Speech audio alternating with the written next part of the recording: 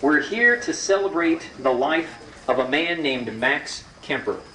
He came here from Berlin, Germany, 100 years ago. And maybe he came to Mammoth Cave just like a lot of you folks, as a visitor. But once he went inside the cave, he was captivated. And he knew that something was calling him, beckoning him inside the cave. His stay of a few days and maybe up to a week would turn into eight months. And over this eight month stay, he would map and explore and produce a map that has become legendary uh, within the last 100 years, simply known as the Kaemper Map. Uh, his map showed 35 miles of cave passageways, many of them brand new discoveries by Max Kaemper and Ed Bishop. So we're celebrating 100 years of the history and tradition of Max Kaemper.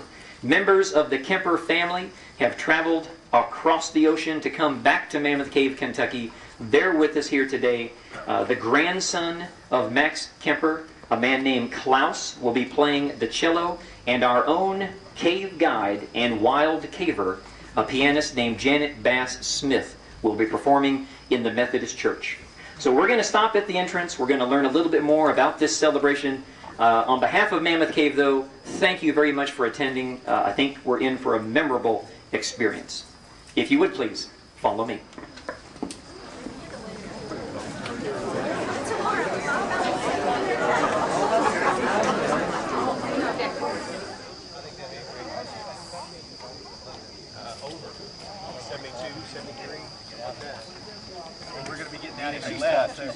Looks like for this year, cut the uh.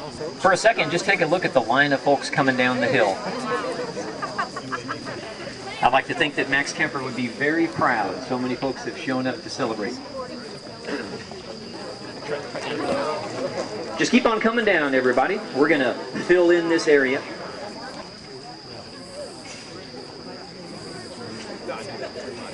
Try to squeeze in as best you can. I know it looks like we won't fit, but indeed we will. We will fill up the Mammoth Cave today. I would like to take this moment here to acknowledge that the superintendent of Mammoth Cave National Park is with us here today. If you could say hello to Mr. Pat Reed.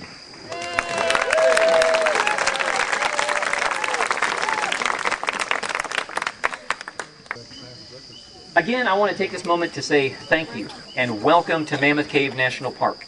My name is Chuck DeCroix, park ranger here. We're gathered at the historic entrance, the largest natural opening known to Mammoth Cave. And immediately you feel something unique here. You feel the cold air issuing out of the ground.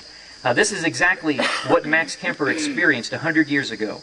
Uh, back in 1908, this was the only known entrance to Mammoth Cave. So every cave tour, every mapping trip had to come in this entrance. No matter how far they went or what they did, they would have to backtrack and come back out this way. So it made for some incredibly long and very interesting cave tours. 4,000 years ago, the first humans entered this entrance. They were the Native American Indians. They began to systematically explore the cave, collecting crystals and salts from within. And we find that throughout the history of Mammoth Cave, there's some element of curiosity and mystery that seems to be luring people in here, even up to the present. We're going to be walking through a whole lot of history here. We're going to go through a large chamber known as the Rotunda. And as we walk through that room, take a look down, and you'll see some wooden artifacts. These are the leaching vats. Uh, they are original. They've been in the cave since the early 1800s, used to produce saltpeter back prior to and during the War of 1812. Notice how perfectly preserved they are. That's when we leave the electrically lit part of our activity. And we'll go down the boardwalk by lantern light. There are some stairs near the end of the boardwalk, so please be very, very careful. And then we'll be gathering in a chamber called the Methodist Church. To walk into the cave and experience music is truly a once in a lifetime event. And it has been going on here at Mammoth Cave since the early days of cave tours. Uh, there was a place in the cave found on the old maps known as the ballroom. And the references indicate that they used to have a wooden dance floor. And bands would play in the cave, and men and women would come dancing by lantern light. We have the annual cave sing, where we have music performed the first Sunday in December. I believe this year it falls on December 7th. So that is free, open to the public. Usually starts around 1 or 2 in the afternoon. We encourage you to come out for that as well. Marriages have taken place. Uh, music and acoustics and echoes, it's all part of it. And it's really going to sound great today.